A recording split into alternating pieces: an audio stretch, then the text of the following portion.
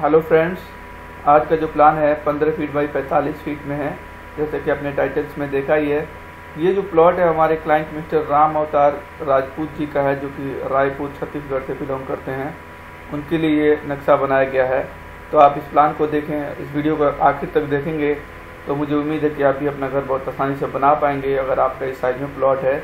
या अगर different size में प्लॉट है तो उसके लिए भी आप हमसे कांटेक्ट कर सकते हैं। हमारा जो कांटेक्ट डिटेल है वीडियो के नीचे डिस्क्रिप्शन में मिल जाएगा तो उसके लिए आप हमसे कांटेक्ट कर सकते हैं अपने घर का नक्शा बनाने के लिए। तो चलिए समझते हैं आज का प्लान यहाँ पे जो है, हमारे घर के अंदर जाने के लिए ईस्ट ये सॉरी ये वेस्ट फेसिंग का ये वन साइड ओपन प्लॉट है। बाकी ये तीनों तरफ़ से यहाँ पे घर बन चुके हैं राइट साइड लेफ़्ट साइड और पीछे में। तो यहाँ पे जो है हमारे घर के अंदर जाने के लिए जो एंट्रेंस है, वो यहीं से हम अपने घर के अंदर जाएँगे। सबसे पहले आप ये पिंक कलर की जो आप लाइन देख रहे हैं, ये वाले लाइन जो हल्की लाइन्स हैं, ये लाइन जो है वो हमारी बालकनी की लाइन है। बालकनी जो है, हमारी जो है पैंतालीस फीट जो हमारा एयर लंबाई है, उससे बाहर दिया गया है। तो यहाँ पे है साढ़े तीन फीट की चौड़ाई में, यहाँ पे सेंटर में बालकनी जो है वो यहाँ पे है। और यहाँ पे जो बालकनी की जो जो विथ है, वो दो फीट छः इंच है। यहाँ पे भी दो फीट छः इंच है। तो यहाँ पे कुछ इस तरह से बालकनी का डिज़ाइन किया जाएगा और यहाँ पे है, बालकनी को बनाया जाएगा और यहाँ पे जो है आप इसमें लोहे की ग्रिल्स लगा देंगे तो बहुत अच्छा एक व्यू आएगा। माफ़ करें।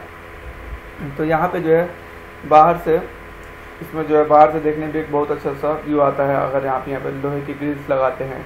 तो यहाँ पे अभी हम अपने घर के अंदर जाएँगे। तो यहाँ पे बालकनी की जो ऊंचाई दी गई है, वो हमारी जो छत की ऊंचाई जो है, वो ग्यारह फीट की ऊंचाई पे है, जो कि हमारे ग्राउंड फ्लोर से दी गई है जो हमारा जो ग्राउंड फ्लोर होगा फर्श जो होगी उससे हमारी ग्यारह फीट की ऊंचाई पे होगा। यहाँ पे जो है ये कार, कार पार्किंग दी गई है और पार्किंग में जाने के लिए आपको यहाँ सबसे पहले मिल जाता है गेट जो कि सात फीट चौड़ा गेट आप यहाँ पे लगाएँगे तो जिससे हम अपनी कार को लेकर अपनी कार पार्किंग में चले जाएँगे। तो जैसे हम कार पार्किंग में एंट्री करते हैं तो हमारी कार यहाँ पे पार्क हो जाती है और यहाँ पे जो है कार पार्किंग के लिए आपको जो स्पेस मिल जाता है, सत्रह फीट की लंबाई मिल जाती है और आठ फीट की चौड़ाई मिल जाती है। तो आप इसमें जो है मीडियम साइज़ की कार या स्मॉल साइज़ की कार बहुत आसानी से पार्क कर सकते हैं। उसके बाद भी आपको काफ़ी स्पेस मिल जाएगा। आप घर के अंदर कोई भी सामान लेके जा सकते हैं। सबसे पहले उसके बाद आपको मिल जाती है पार्किंग से सीढ़ियाँ। तो यहाँ पे एक डोर दिया गया है जो कि ये ढाई फीट चौड़ा डोर है। यहाँ पे आप वैसे तीन फीट चौड़ा यहाँ पे डोर लगाया गया है, लेकिन आप चाहें तो ढाई फीट चौड़ा भी डोर लगा सकते हैं। तो इसको ओपन करेंगे और यहाँ से हम ओपन करने के बाद हमारी जो सीढ़ियाँ है, वो हमारी ऊपर की तरफ़ जा रही हैं। पहला जो कदम पड़ेगा, वो यहाँ पे पड़ेगा और दूसरा, तीसरा, चौथा, पांचवा कदम ऐसे बढ़ाते हुए हम यहाँ तक आएँगे तो बारह स्टेप हमको चढ़ने के लिए मिल जाएँगे। बारह कदम हम चढ़ने के बाद से घूम जाएँगे और घूमने के बाद से हम इस तरह बढ़ते जाएँगे। जब बढ़ेंगे तो 19 कदम चलने के बाद से टोटल 19 स्टेप चढ़ने के बाद से हम अपनी छत पे पहुँच जाएँगे।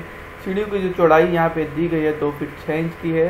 ये वाली जो सीढ़ियाँ ये, यहाँ पे जो दो तीन स्टेप्स हैं वो दो फीट छः इंच के हैं और बाकी ये वाले जो स्टेप्स हैं दो फीट नौ इंच के हैं। ये वाले जो इस डायरेक्शन में स्टेप्स हैं, ये दो फीट नौ इंच के हैं। और यहाँ पे भी दो फीट नौ इंच के ही यहाँ पे चौड़ा, चौड़ाई में आपको सीढ़िया, सीढ़ियों का जो स्टेप्स है वो दिया गया है। यहाँ पे जो है इस पर जिसको हम अपने ट्रेड बोलते हैं जिस पर अपना पैर रखेंगे, वो इसमें नाइन इंच का है। इस पर हम अपना पैर रखने के लिए जो यूज़ करेंगे वो नाइन इंच का है। और इसमें जो ट्रेड जिसमें राइजर जो है, जो जो जो खड़ा रहता है, जिसमें जो सीढ़ियों में, वो वो वाला हिस्सा आपका सात इंच का है। तो जिस पर पैर रखेंगे वो नाइन इंच का है और जो खड़ा वाला हिस्सा रहता है, वो इसमें सात इंच का डिज़ाइन किया गया है। तो इधर से होते हुए हम अपने छत पे पहुँच जाएँगे। यहाँ पे इसके नीचे आपको काफ़ी स्पेस मिल जाएगा, आप यहाँ पे चाहे तो। यहाँ पे छोटा सा यहाँ पे बाथरूम भी बना सकते हैं या अगर नहीं बनाना चाहते तो इसके नीचे आप यहाँ पे ये कोई भी स्टोर के तौर पे अपना जो भी एक्स्ट्रा सामान होगा, आप यहाँ पे रख सकते हैं। यहाँ पे आप बेहतर ये होगा जब मिड लर्निंग पे यहाँ वाली जो दीवार है, इसके बाद जब मिड लर्निंग पे जब हम पहुँचेंगे, जो कि हमारे लगभग सात आठ फीट की ऊंचाई पे होगी, यहाँ पे पहुँचने के बाद से, दीवार के बाद से आप चाहे तो यहाँ पे सीधे सीधे ऊपर में ग्लास लगा सकते हैं। ग्लास सीधे सीधे लर्निंग के बाद वाली जो बाद वाला जो ऊंचाई होगा, आठ फीट की ऊंचाई के बाद ऊपर, ग्यारह फीट या ऊपर में हम अपना फ़र्स्ट फ्लोर बनाएँगे तो उधर तक ये पूरा यहाँ पे ग्लास लगा देंगे इस वाले पोर्शन में तो आपको काफ़ी एक अच्छा व्यू आएगा। तो अभी बात कर लेते हैं, यहाँ पे हम पहुँच जाएँगे फ़र्स्ट फ्लोर पे। मैं इसका फ़र्स्ट फ्लोर भी प्लान आपके लिए अपलोड करने वाला हूँ इसी चैनल पे। तो आप चैनल को हमारे देखते रहें और चैनल को सब्सक्राइब भी करें अगर आपको वीडियोस हमारे अच्छे लगते हैं तो। तो चलिए अभी आगे बढ़ते हैं। तो यहाँ पे हम कार पार्किंग से अब आगे बढ़ेंगे। तो यहाँ पे अभी हम चले चले जाएँगे अपने हॉल में। सबसे पहले आपको मिल जाता है हॉल, जो कि चौदह फीट दो इंच की लंबाई में है और आठ फीट तीन इंच की इसकी चौड़ाई है। यहाँ पे एक विंडो मिल जाता है, जो कि ढाई फीट चौड़ा है। दो फीट छः इंच चौड़ाई में है, चार फीट इसकी लंबाई आप रखेंगे। तो इधर से बाहर से जो रोशनी आएगी कार पार्किंग की तरफ़ से, वो सीधे हमारे हॉल के अंदर जाएगी। यहाँ पे प्रॉपर उजाला रहेगा। इसके लिए वैसे एक और विंडो भी दिया गया है। इसके बारे में मैं बात करूँगा, लेकिन उससे पहले मैं बात कर लेता हूँ यहाँ पे टॉयलेट एंड बाथरूम की। यहाँ पे पाँच फीट की इसकी लंबाई है, पाँच फीट नौ इंच की इसकी चौड़ाई है। तो हॉल में आने के बाद यहाँ पे ढाई फीट चौड़ा आपको डोर मिल जाता है और इधर से होते हुए हम अपने टॉयलेट एंड बाथरूम का इस्तेमाल कर पाएँगे यहाँ पे वेंटिलेशन के लिए जो फ़ैन आप यहाँ पे लगाएँगे तो जो भी इसमें स्मेल होगा, जो बदबू होगा, वो यहाँ पे पार्किंग की तरफ़ निकल जाएगा। ये जो डोर है यहाँ पे चार फीट चौड़ा दिया गया है। दो फीट दो फीट का ये डोर है तो ये हमारे सीधे हॉल के अंदर अंदर की तरफ़ ओपन होगा। यहाँ पे जैसा कि आप देख रहे हैं कि सीटिंग के लिए सोफे वगैरह प्लेस किए गए हैं। और यहाँ पे जो है हमारी डाइनिंग के लिए आपको स्पेस भी दिया गया है, यहाँ पे आराम से चार से छः लोग बैठ सकते हैं। बात कर रहा था मैं दूसरी विंडो की, यहाँ पे भी एक विंडो आपको मिल जाता है जो कि ढाई फीट चौड़ा है, ढाई बाई चार का है। तो यहाँ पे जो है, पीछे में आपको यहाँ पे एक ओटीएस दिया गया है जो कि हमारी छत में खुला रहेगा। और यहाँ पे ओटीएस से जो रोशनी आएगी, वो इस विंडो को ओपन करने से हमारे इस हॉल के अंदर भी उजाला रहेगा। तो हॉल में आपको दो विंडो मिल जाते हैं। अभी बात करते हैं तो हॉल से आगे बढ़ेंगे तो यहाँ पे एक आपको एक मिल जाता है पैसेज जो कि तीन फीट तीन इंच चौड़ा है। तो उधर से होते हुए हम अपने बेडरूम की तरफ़ जाएँगे और यहाँ पे आपको मिल जाता है किचन। यहाँ पे भी ये जो डोर है, वो ढाई फीट चौड़ा ही है यहाँ पे। ढाई फीट बाई छः फीट का आप डोर लगाएँगे।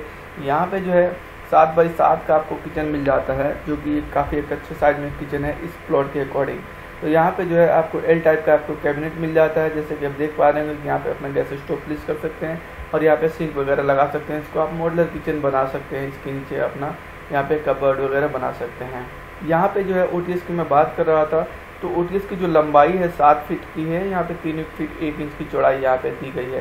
तो ये पूरा ये वाला हिस्सा जो है, जो यहाँ पे कट लगाया गया है, ये खुला रहेगा छत में, और बाद में लोहे की जाल से इसको कवर कर देंगे। इसको कवर कर देंगे तो जिससे इसके थ्रू रोशनी आएगी और ताज़ी हवा का भी सर्कुलेशन होगा तो हमारे घर में प्रॉपर वेंटिलेशन अच्छे से होता रहेगा। तो मैं एक और डोर यहाँ पे दिया गया है, इसकी बात कर लूँ।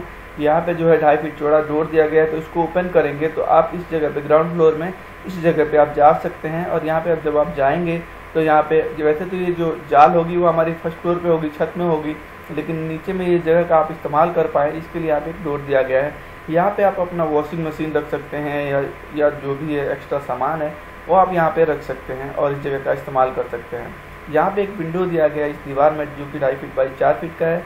तो यहाँ पे जो रोशनी आ रही है, वो इसी के थ्रू हमारे इस विंडो के थ्रू हमारे इस किचन में भी उजाला रहेगा और जो भी धुआँ होगा यहाँ से होते हुए वो की तरफ़, छत की तरफ़ निकल जाएगा। तो अभी चलिए बढ़ते हैं अपने रूम की तरफ़। यहाँ से पैसे से होते हुए भी बढ़ जाएँगे अपने रूम की तरफ़। ये हमारा बेडरूम है। यहाँ पे चौदह फीट दो इंच की इसकी लंबाई है, दस फीट की इसकी चौड़ाई है। तो यहाँ पे आपको काफ़ी एक अच्छे साइज़ में आपको बेडरूम मिल जाता है। यहाँ पे एक विंडो दिया गया है इस दीवार में, यहाँ पे यहाँ पे भी ओ से जो रोशनी आ रही है, इस विंडो के ओपन करने से हमारे इस बेडरूम के अंदर उजाला रहेगा। यहाँ पे जो है आपको बेड और सोफे प्लेस करके दिखाए गए हैं। तो चलिए अभी इसमें बात करते हैं वॉल साइजेस की। और यहाँ पे आप पिंक कलर में ये जो आप देख रहे हैं, ये सारे कॉलम्स हैं, जो कि nine inch by nine inch के कॉलम है। नौ इंच बाय नौ इंच के कॉलम है। तो यहाँ पे जो है, जो मैंने आपको स्टार्टिंग में ही बताया कि सारे तरफ़ ये, हर तरफ़ में यहाँ पे घर ऑलरेडी बन चुका है। तो यहाँ पे ये जो दीवारें दी गई हैं, ये राइट साइड और लेफ़्ट साइड की जो, बाहर की जो दीवारें हैं, वो इसमें पाँच इंच की दी गई हैं और पीछे वाली जो दीवार है, वो इसमें नाइन इंच की दी गई है। यहाँ पे जो है, आप पिंक कलर में जो देख रहे हैं, ये कॉलम है। कॉलम के साइज़ मैंने आपको बता दिए कि नौ इंच बाई नौ इंच के हैं। ये कॉलम जो है आप ग्राउंड फ्लोर और फ़र्स्ट फ्लोर तक के बनाने के लिए इसका इस्तेमाल कर सकते हैं। यहाँ पे अभी मैं बात कर लूँ तो फ्रंट वाली जो ये वाली वॉल है, यहाँ पे ये वाली ये वाली वॉल है, ये नाइन इंच की दी गई है। यहाँ पे भी हमारी जो दीवारें हैं, सारे घर के अंदर की जो भी दीवारें हैं, वो भी इसमें पाँच इंच की दी गई हैं। कॉलम्स पे हमारे बीम्स आ जाएँगे। यहाँ पे सारे कॉलम्स पे हमारे बीम्स आ जाएँगे। और यहाँ पे जो बीम्स आएँगे तो इसके लिए हमारे घर को स्ट्रेंथ मिलेगा। इसके लिए आप हमारे ये जो है, एक काफ़ी एक अच्छा घर बना सकते हैं इस कॉलम्स और बीम्स के सपोर्ट से।